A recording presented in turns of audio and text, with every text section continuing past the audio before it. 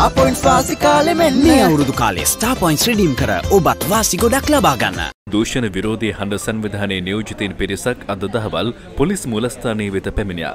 ඒ අධිකරණ අමාත්‍යවරයා විසින් පසුගියදා පාර්ලිමේන්තුවේදී කළ ප්‍රකාශයක් සම්බන්ධයෙන් පැමිණිල්ලක් ඉදිරිපත් කිරීම සඳහායි.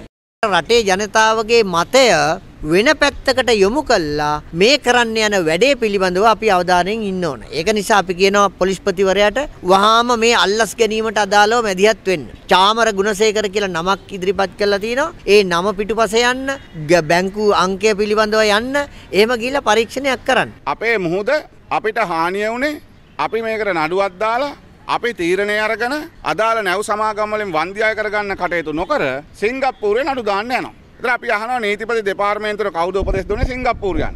සිංගප්පූරුවේ නීතිඥ සංගම් ගන්න ඩොලර් මිලියන ගණන් ගෙවන්න කවුද උපදෙස් දුන්නේ කවුද සල්ලි දුන්නේ? නීතිය බාර ඇමතිවරයාට තැන් තැන් වල කේලම් කිය කියන වගේ කටකතා කිය කියන වගේ තොරතුරු කිය කියන වගේ යන්න බෑනේ. ඔහු නීති අපේ රටේ අධිකරණ ඇමතිනේ. ඒක අපි පොලිස්පතිවරයාට දැන් කිව්වේ අන්න අධිකරණ ඇමති ඇවිල්ලා කියලා තියෙනවා. පාර්ලිමේන්තුවේ කියනවා. කැබිනට් එකට කියනවා.